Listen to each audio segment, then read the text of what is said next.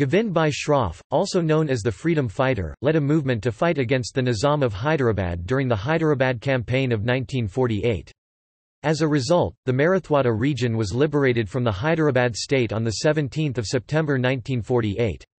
In 1966, people responded to the call of Shroff by taking part in hunger strikes, morchas, rail rokos, bandhs and other form of protests to press for a broad track gauge.